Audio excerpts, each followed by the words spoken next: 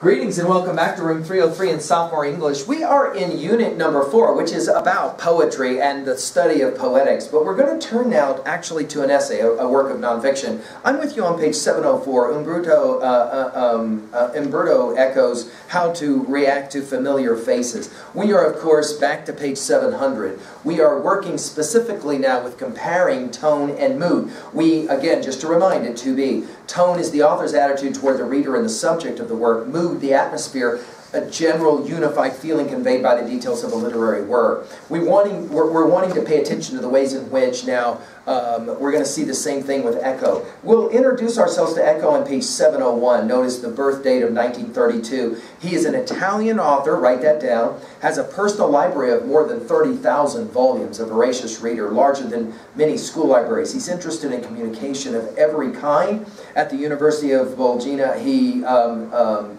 teaches semantics, um, the study of communication through signs and symbols. He also follows the information revolution with great interest. We're going to turn now to this uh, little essay, and the first thing we want to say, I hope you're reading with me on page 704, is we got to have some background information here, okay? Um, Eco, by the way, passed away in February of 2016, um, and so very, you know, very recently uh, left but left a, an important legacy. Some background information. In this essay, Eco mentions several celebrities with whom you may not be familiar. Anthony Quinn is a film actor who won two Academy Awards. Charlton Heston is another film actor who won an Academy Award for his role in the film Ben-Hur.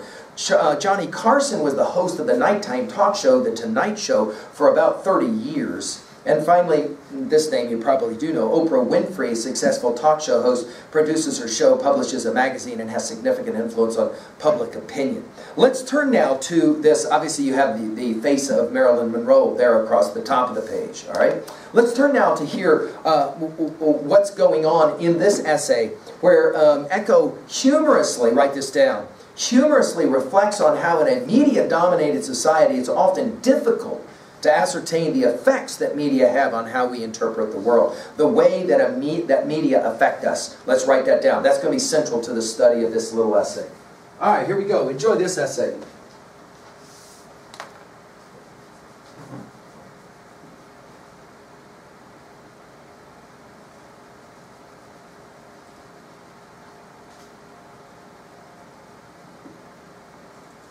How to react to familiar faces by Umberto Eco. A few months ago, as I was strolling in New York, I saw at a distance a man I knew very well heading in my direction. The trouble was that I couldn't remember his name or where I had met him. This is one of those sensations you encounter especially when, in a foreign city, you run into someone you met back home, or vice versa. A face out of context creates confusion. Still, that face was so familiar that I felt I should certainly stop, greet him, converse. Perhaps he would immediately respond, My dear Umberto, how are you? Or, Were you able to do that thing you were telling me about? And I would be at a total loss. It was too late to flee. He was still looking at the opposite side of the street, but now he was beginning to turn his eyes towards me. I might as well make the first move. I would wave, and then from his voice, his first remarks, I would try to guess his identity. We were now only a few feet from each other. I was just about to break into a broad, radiant smile when suddenly I recognized him. It was Anthony Quinn. Naturally, I had never met him in my life, nor he me. In a thousandth of a second, I was able to check myself, and I walked past him, my eyes staring into space. 705. Afterwards, reflecting on this incident, I realized how totally normal it was. Once before, in a restaurant, I had glimpsed Charlton Heston and had felt an impulse to say hello. These faces inhabit our memory. Watching the screen, we spend so many hours with them that they are as familiar to us as our relatives, even more so. You can be a student of mass communication, debate the effects of reality, or the confusion between the real and the imagined, and expound the way some people fall permanently into this confusion. But still, you are not immune to the syndrome. And there is worse. I have received confidences from people who, appearing fairly frequently on TV, have been subjected to the mass media over a certain period of time. I'm not talking about Johnny Carson or Oprah Winfrey, but public figures, experts who have participated in panel discussions often enough to become recognizable. All of them complain of the same disagreeable experience. Now, as a rule, when we see someone we don't know personally, we don't stare into his or her face at length. We don't point out the person to the friend at our side. We don't speak of this person in a loud voice when he or she can overhear. Such behavior would be rude, even, if carried too far, aggressive.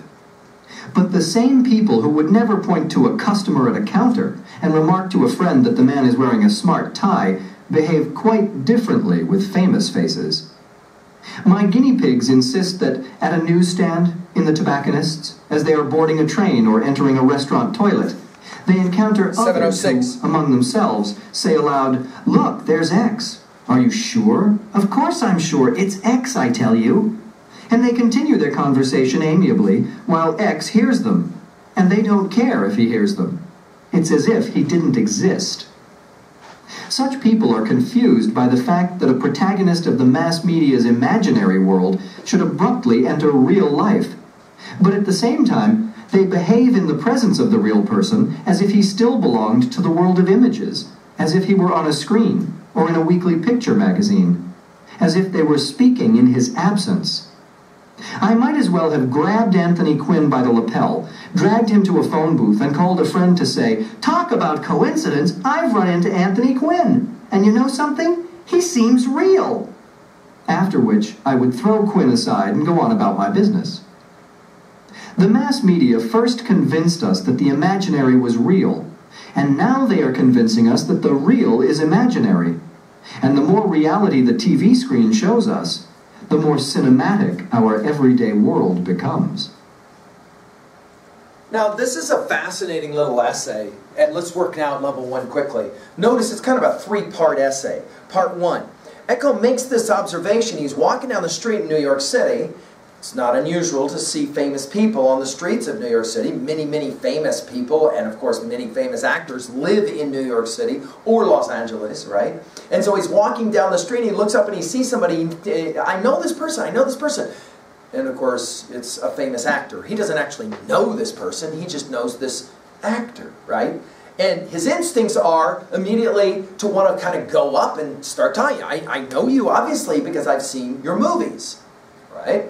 Um, part two, he makes the observation that this actually is fairly normal behavior for those of us who have been so affected by mass media. We look at people so much online, in movies, in music videos, that we somehow begin to think that we know them in some way. To see them in public can be kind of weird because our instincts are to place them quickly and then somehow feel like we know them. We don't know them, but we think that we know them. Finally, part number three is the end of the essay. And this is really where Eco's going. He's commenting on the way you guys, all of us, have been affected by mass media. So that notice on page 706, he says, such people are confused by the fact that a protagonist of the mass media's ima imaginary world should abruptly enter real life but at the same time, they behave in the presence of the real person as if he still belonged to the world of images, as if he were on a screen or in a weekly picture magazine, as if they were speaking in his absence. Notice, he seems real, right? And then finally, the mass media first convinced us that the imaginary was real, and now they're convincing us that the real is imaginary. And the more reality the TV screen shows us, the more cinematic, uh, cinematic our everyday world becomes. It's as if almost we are living in the video game. We're living in the music video. And increasingly, we think we know these people who are these musicians or these actors or whatever.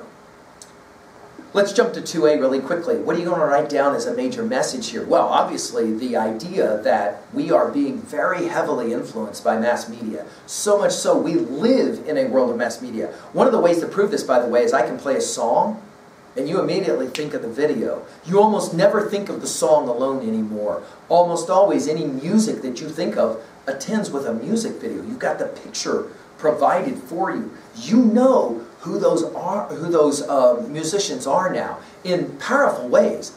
And because, of course, phenomena like Twitter and other kinds of social media, online media, you can follow these people as if you somehow know, and they, of course, respond back often, letting you know about their private affairs or whatever. At 2B, what do you think is the tone and the mood of an essay like this? It is intended to be somewhat humorous. It's also, though, intended to point out something kind of serious that we are, in fact, being affected in profound ways. We are being affected by the social media that we pay attention to, we watch, we listen to it. At 3A, what is for you your favorite text about celebrity? What is it? Is it an online source? Is it a song? Uh, when you think about celebrity, and of course we know about celebrities through the mass media, I mean, we think about, you know, the families that are often named, the Kardashians immediately come to mind, these kinds of really high profile families, and everybody seems to want to follow them, know what's going on. If you follow ball um, um, sports, you know that, of course, athletes are often followed, and everybody pays attention to the things they're doing, not just in season, but out of season. At 3B, how concerned are you about the way that our world takes so seriously celebrities? So that the celebrities don't seem to have private lives very much anymore? And to what degree are you worried about your own life and your own privacy?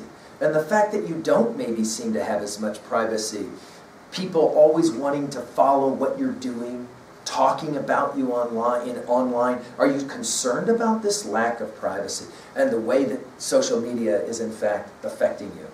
Well, there you go, an introduction to Eco. Maybe he's challenged you a little to think about the life you live in.